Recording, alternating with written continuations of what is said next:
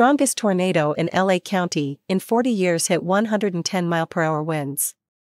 The National Weather Service said the EF1 tornado in Montebello was the strongest in the county since a tornado struck South Central in 1983.